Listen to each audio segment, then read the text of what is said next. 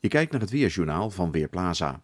We hebben te maken met veel bewolking en uit die bewolking valt af en toe ook wat lichte regen of motregen. De kans daarop is het grootst in het zuiden van het land.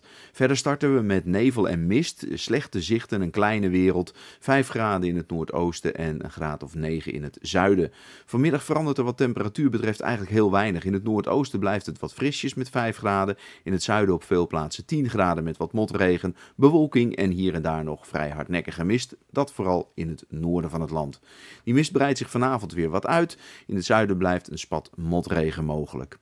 En eigenlijk verandert het weer de komende dagen maar heel erg langzaam. Morgen krijgen we te maken met wat meer wind. Dat heeft als voordeel dat de mistkansen verdwijnen, maar verder blijft het bewolkt en er kan nog steeds regen of motregen vallen. 9 of 10 graden wordt het dan.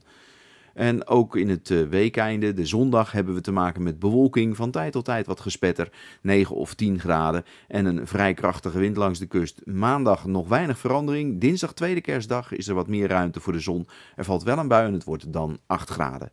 Ik ben Marco Verhoef van Weerplaza.nl